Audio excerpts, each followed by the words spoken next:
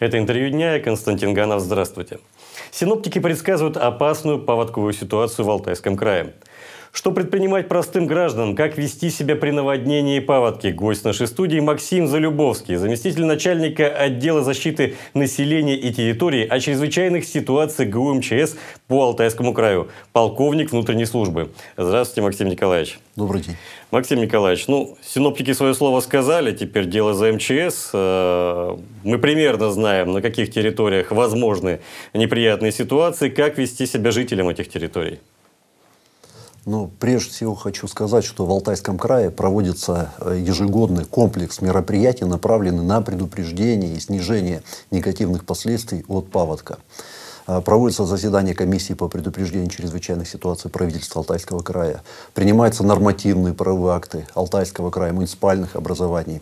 Э, проводится оценка, комиссионно проводится оценка готовности муниципальных образований к безаварийному пропуску паводковых вод. Э, вместе с тем, э, жители Алтайского края, особенно тех населенных пунктов, которые систематически подвержены паводку, они должны выполнять определенные условия при подготовке к паводкоопасному периоду. Ну, какие условия? Прежде всего, это следить за паводковой обстановкой в средствах массовой информации. Далее, подготовить так называемый тревожный чемодан. Это чемодан, рюкзак, сумка, в который необходимо поместить документы, деньги, запас продуктов питания, э, вещи по сезону. И быть готовыми к срочной эвакуации при значительном ухудшении обстановки. Э, далее, по возможности поднять э, ценные вещи на верхние этажи здания, если, допустим, мы про двухэтажный жилой дом говорим. Быть информированы о том, какие места возвышенности есть в данном населенном пункте, а также определить безопасные маршруты для выдвижения вот в эти возвышенные места в случае резкого ухудшения обстановки. Также иметь представление о расположении плавсредств, лодок, плотов и так далее. Ну, хорошо бы еще у себя иметь лодку на всякий случай.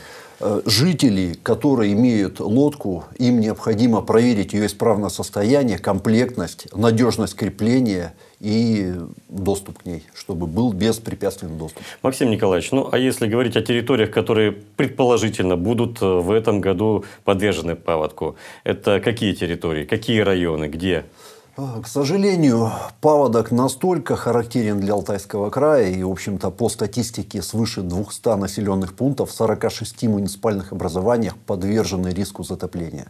Вот, поэтому говорить ну, о том, какие все эти 200, именно, да, да, не имеет смысла, смысла, нет. как бы, Э, ну вот затон есть затон, его, он потому да, так и называется. За, затон есть затон, но есть, э, у каждого медали есть оборотная сторона. Жители этих населенных пунктов, они ежегодно проходят вот эти циклы, и они имеют очень хорошие знания, практические навыки, как паводку противостоять. Угу. А вы рекомендуете как-то готовиться еще и готовить свои строения к тому, что вода может их затопить? Разумеется, необходимо учитывать э, паводок, то есть как он будет развиваться э, с небольшим, даже с большим, со значительным запасом, следить, чтобы слуховые окна подвальных помещений были закрыты. То есть перед непосредственно паводком желательно из подвальных помещений убрать продукты питания там, и так далее. То есть э, заготовить, может быть, мешки с песком.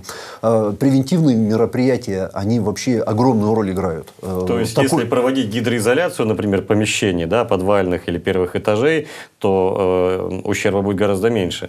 Да, таким образом можно ущерб снизить, но вообще развитие ситуации может пойти по сотням сценариев. Поэтому как бы... Вот... Ну, чем, чем меньше возможных сценариев, э, тем лучше. Если загидроизолировано, то гораздо проще. Паводок случился. Дальше что?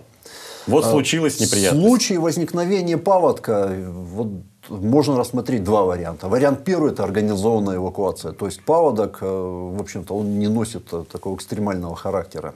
Прежде всего необходимо включить радио или телевидение и прослушать сообщения. То есть в случае эвакуации необходимо собрать себя, детей, взять э, документы, деньги, вот как мы говорили про тревожный чемодан, аптечку первой помощи, запас продуктов и следовать в пункт посадки.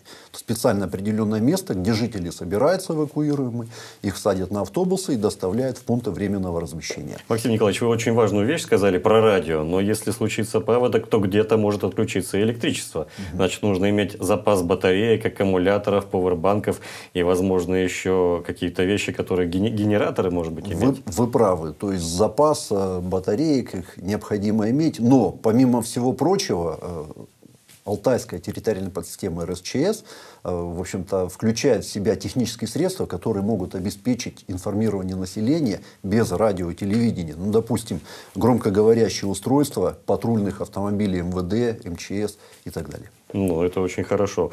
А вы э, э, основные моменты рассказали про то, как вести себя во время паводка или еще не все? Э, есть второй сценарий, это катастрофическое затопление. Будем надеяться, его не будет. Так вот, и тем не менее, в случае катастрофического затопления граждане должны понимать, что главное спасти жизнь, здоровье себя, своих близких, соседей и так далее. Поэтому, если вас э, волна застала дома, и вы понимаете, что вы из этого дома не можете выбраться, необходимо подняться в верхнюю точку, вплоть до крыши, то есть помочь своим близким.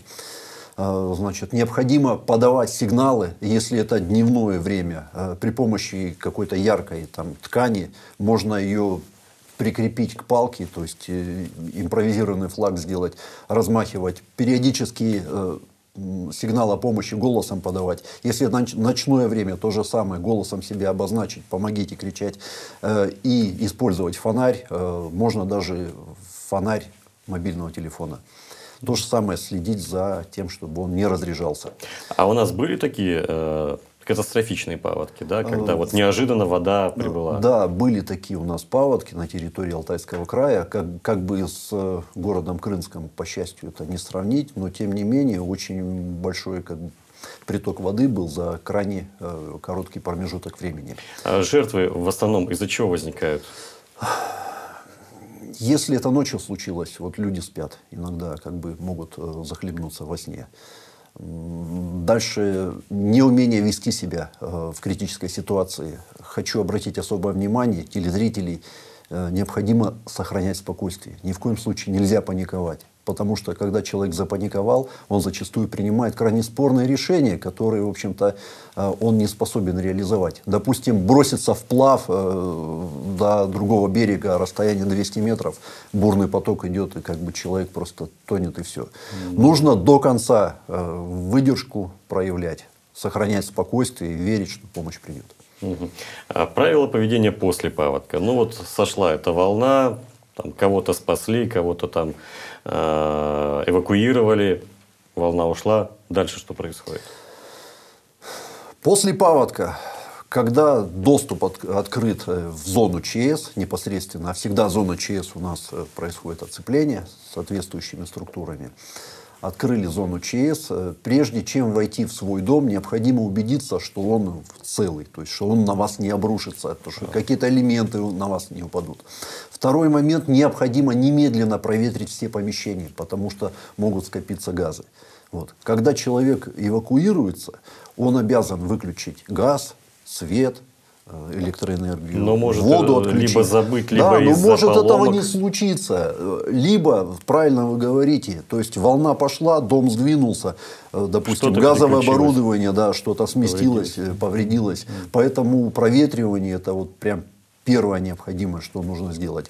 Тщательно проветрить. Дальше нельзя включать э, свет, нельзя зажигать огонь Э, до того, как вы не проветрили, запрещается пользовать, э, использовать газовое оборудование, электроприборы, пока комиссия соответствующих служб не даст заключение, что ваша система находится в исправном А комиссии, состоянии. они тут же ходят и быстро да, дают заключение? Да, в муниципальных образованиях, так точно, они создаются специальные комиссии, то есть от газовой службы, от электрохозяйства. То есть они которые... действуют оперативно? Так точно. А, большое спасибо, Максим Николаевич, за интересную, самое главное, полезную беседу, за правильные советы и краткие. Ну, а зрителям напомню о правилах поведения при наводнении и паводке, а также после, рассказал Максим Залюбовский, заместитель начальника отдела защиты населения и территории от чрезвычайных ситуаций ГУ МЧС по Алтайскому краю, полковник внутренней службы.